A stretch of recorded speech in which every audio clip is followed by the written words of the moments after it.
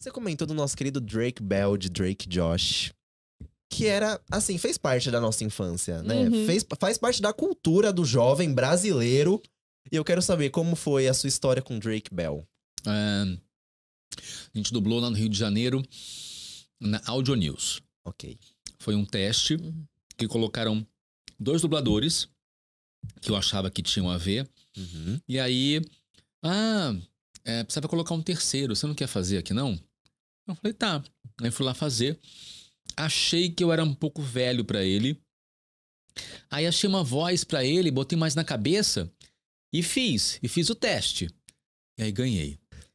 E era muito bom de fazer. Quem fazia o, o Josh. Josh era o Peterson Adriano. Uhum. A gente se divertia muito fazendo. Ah, era muito bom. É, Assim como no Friends, Uhum. Era riso certo, assim. Porque a comédia tem muito disso, né? O que você acha engraçado? Uhum. Uhum. Ah, o cara é um puta comediante, mas o humor dele não, não acho graça. Tem gente que não acha a Tata- Werneck engraçada. Eu acho muito. Uhum. Então cada um tem o seu ponto de vista. Esse humor, por mais que seja série tinha americana e tal, eu achava muito engraçado, muito engraçado. Então, tinha que me concentrar pra conseguir gravar.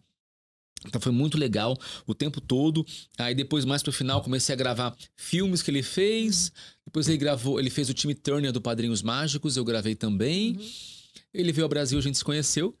Nós fomos jantar. Uhum. Mentira! Eu, ele e a esposa, nós fomos jantar. que ótimo. Como foi conhecer ele? Então, é, tinha um evento numa cidade, acho que era Campinas. Uhum. Eu tava num evento, ele tava num outro. Aí os eventos conversaram, não- lembro como, eles juntaram. É, não sei qual foi a jogada que eles fizeram, mas é, calhou de botar a gente junto. Então a gente. é, ele chegou no mesmo hotel que eu. E aí. Foi já combinar a produção. Você vai querer jantar com ele? Eu falei, cara, se ele quiser jantar, eu Ah, quero, né? Aí fomos jantar eu, ele e a esposa. O pessoal da produção ficou meio por perto, mas a gente ficou na mesa nós três. Uhum. Aí foi muito legal conversar, explicar pra ele, falar de como as coisas são feitas aqui e tal. A esposa dele é empresária dele também, então uma, uma mulher super. Uma latina super Uhum. descolada, sabe? Resolvendo tudo e tal. Uhum. E ele deu muito azar, coitado. Deu tudo Ah. errado pra ele. Ai. Deu tudo errado. Sim. Desde o avião nos Estados Unidos. Desde lá. Tudo foi dando errado. Primeiro, ele combinou voo Uhum. primeira classe Uhum. e não era. Ai. Aí já veio lá apertadinho de lá até aqui não sei quantas Uhum. horas. Chegou aqui. Não, tudo é produção, gente. Produção. Uhum. Chegou aqui. é, pegaram ele é, lá na, com as malas, levaram para um ponto de Uber tal. Ah, vamos chamar o. ah, Vamos chamar o Uber. Depois que ele chegou, é que vamos chamar o Uber. Começou aquela coisa de achar um Uber no aeroporto.